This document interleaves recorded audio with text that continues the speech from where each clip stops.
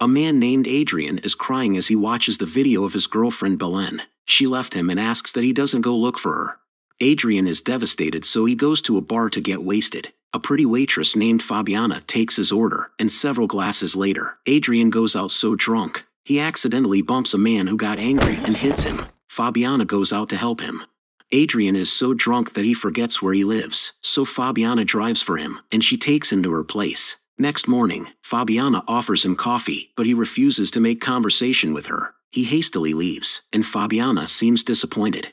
Adrian is a conductor of an orchestra, and in the middle of the rehearsal, he gets upset again and leaves. That evening, he goes back to the bar and apologizes to Fabiana for his ill manner that morning. To thank her for helping him, Adrian brings Fabiana to the theater, and she is impressed.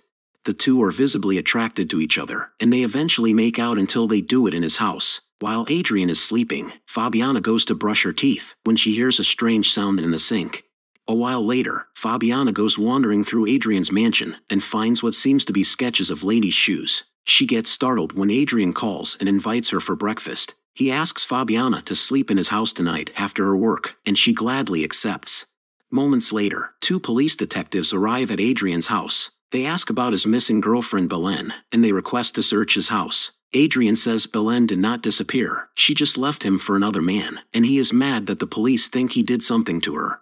One evening while Fabiana is in the bathtub, she hears the strange sound again. She also notices that the water is moving despite her lying still, and there are no droplets of water anywhere. When the lights suddenly went off, Fabiana freaks out, but Adrian tells her that they normally shut off the electricity when it is raining. The two later tries to make love, but Fabiana gets distracted by the dog that is staring at the wardrobe mirror. At the bar, one of the detectives named Bernardo warns Fabiana about Adrian, saying it is strange that he goes dating her right after his girlfriend goes missing. Fabiana explains that Belen left Adrian, but the detective does not believe that. Next morning, Fabiana is having a shower when suddenly the water gets too hot and her skin got first degree burn. She hears the strange noise again and gets startled when the dog suddenly enters the bathroom. That evening in her bedroom, Fabiana notices a key under the floor. She takes it out and puts it on as a necklace. The light suddenly goes out and she thinks that someone intentionally turned them off, so she goes to check it.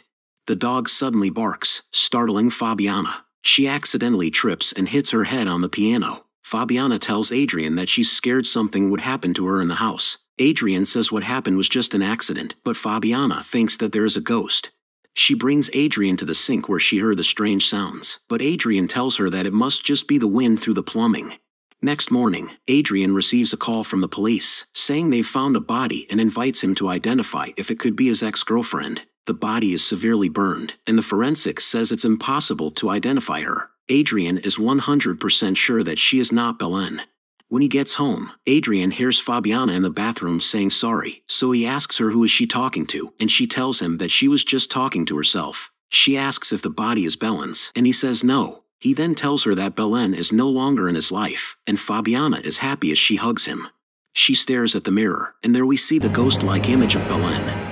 Flashback to when Adrian is still dating Belen. He shares the good news with his girlfriend that he was chosen to conduct the Bogota Philharmonic. Belen is so happy for him, and Adrian asks her to come and stay with him in Bogota. Adrian performs his first concert in Bogota, and Belen is proudly watching him. Their performance ends with a standing ovation from the audience. Belen looks for Adrian after the concert and catches him conversing with his colleague Veronica. The two then go to the mansion that Adrian is currently renting. It is owned by Emma who is planning to go back to Germany. She says they can rent the mansion under the condition that they look after her dog, and Belen has no problem with that because she loves dogs. The couple moves into the mansion, and they are happily living together. Belen starts working on her designed women's shoes, and she always brings the dog with her. She one day visits Adrian at work and catches him alone drinking with Veronica in his office. Belen is upset and while driving, she tells Adrian not to be surprised if one day he wakes up and she's no longer there. While Adrian is in the shower, Belen checks his phone, she later asks him why he and Veronica frequently call and text each other. Adrian says he just flirted with her a little and assures her that nothing happened. Belen still does not believe him and says she just needs to be alone for the moment. She tells Emma about it, and she wonders how Adrian would react if she suddenly dies or disappear. Emma suggests that she test him. She later brings Belen to a secret room in the mansion. Emma's husband served in the German army, and in case his enemy would come for him, he had the safe room built to hide. The room is sealed and fully soundproof, while the glass is a reinforced one-way mirror. With the speaker and mirror, they can see and hear what's happening outside. Emma is now leaving for Germany. When she left, Belen starts executing her plan. She records a video where she pretends that she is leaving. She also takes all her clothes to make her disappearance more convincing. When she sees Adrian arriving, Belen hurriedly takes the key, runs inside the secret room, and locks it. Inside, she can see Adrian's reaction while watching the video she recorded. Belen smiles when she sees his boyfriend crying. Now that she knows his reaction, Belen decides to go out to tell him that it's just a prank. But she couldn't find the key in her bag. It turns out that she accidentally dropped it while rushing inside the secret room.